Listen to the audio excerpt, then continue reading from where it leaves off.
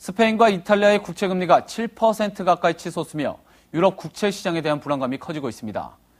이 위기가 유럽 두 번째 경제 대국인 프랑스까지 번지면서 유로존은 악화일로를 걷고 있습니다. 이혜리 기자입니다.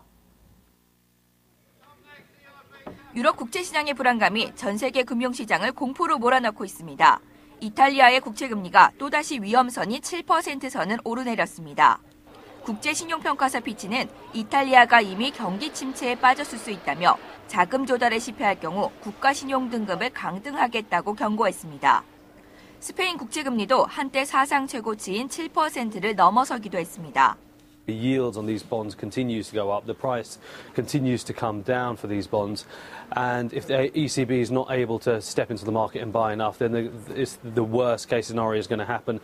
프랑스 국채 금리도 급등해 독일 국채와의 금리 차이인 스프레드는 사상 최고치를 기록하며 공포를 확대시켰습니다. 전문가들은 피치의 이탈리아 신용등급 강등 경고가 프랑스로 이어질 수 있다고 우려하고 있습니다. 위기감을 느낀 프랑스는 유럽 중앙은행의 국채 대량 매입 등 적극적 개입을 요구하고 있습니다.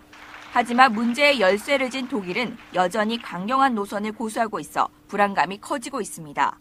Aber wenn die Politik glaubt, die EZB kann das Problem der Euro-Schwäche lösen, dann äh, redet sie sich aus meiner Sicht etwas 스페인과 이탈리아에 이어 유로존 두 번째 경제 대국인 프랑스 국채마저 위태로워지면서 유럽 위기는 더욱 고조되고 있습니다. 머니투데이 방송 이혜리입니다.